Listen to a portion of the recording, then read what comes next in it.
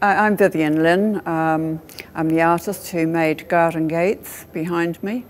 Um, it refers, to, the word garden refers actually to a garden. I just finished a garden before I made this work. Um, and my interest in mythology uh, straddle both those works. Uh, but this one um, also has the spelling G-U-A-R-D-E-N, uh, Gates so there are other implications. The work uses steel, tubular and mesh gates, which are part of the vernacular in New Zealand, and hair, human hair, which is real, and synthetic hair. The work is a narrative. It's a journey, uh, a physical journey and a metaphysical journey.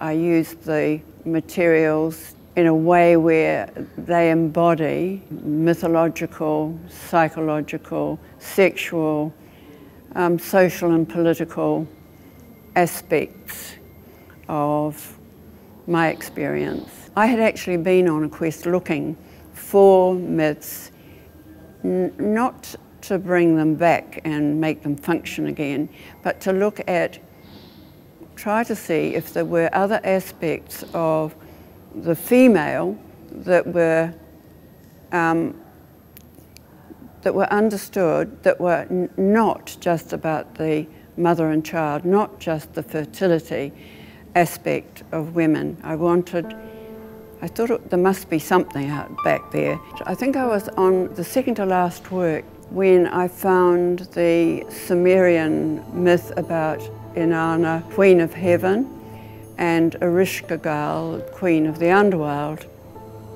These two names are the upper world and the lower world names for the same person. There are hundreds of myths, literally hundreds of myths from the ancient world, from prehistory, and they deal with this idea of going into the underworld um, having confrontations and surviving. But this particular one was interesting because of the seven gates, which I'd already chosen, and particularly because each gate, each encounter that Inanna had with the, what I'm, I'm going to call the unconscious, was like a little death.